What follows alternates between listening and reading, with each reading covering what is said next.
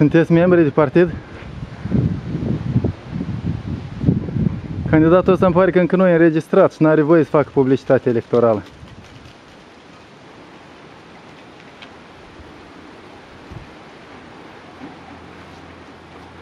Și mă tem că asta e activitate ilegală.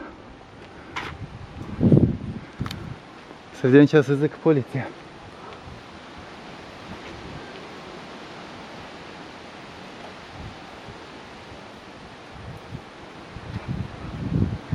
Partidul lui Băsescu și al lui Anatol Șalaru.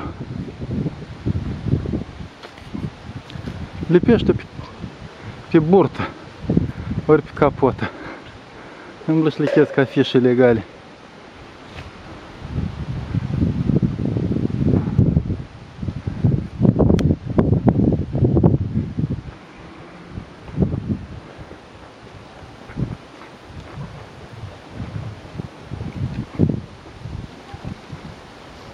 Știți cumva telefonul de la poliția din Dorlești?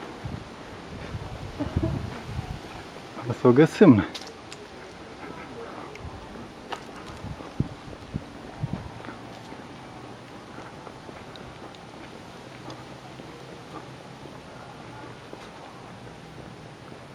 Așa de curajoși, încât nici nu au mai lipit. Și lipeau în blocul de la vale. Și nu umblă noaptea, dar ziua în aniaza mare sfidează. Vă dați seama câte milioane au cheltuit pe afișele astea. Și cheltuielile astea nu le declară la Comisia Electorală. Ca hoții. Cine are bani Vrea să câștige alegerile. Pare să-i voteze a noștri pe și cu bani. Nu o să vadă că afișele n-au nici număr de înregistrare, nici tipografie, nici comandă. Nimic din ce prevede legea. Și le lipesc în candidatul încă nu a depus actele, încă nu a fost înregistrat.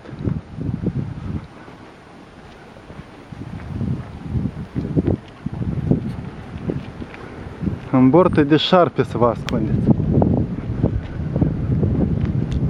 Să vă arăt ce a făcut aici la blocul ăsta. Ca să nu credeți că inventez.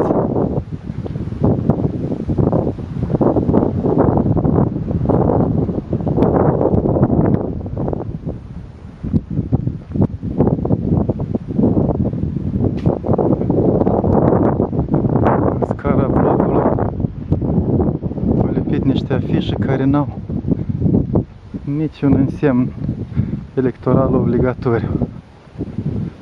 Înseamnă comportament mafiot. Să vedeți codul electoral în halul ăsta.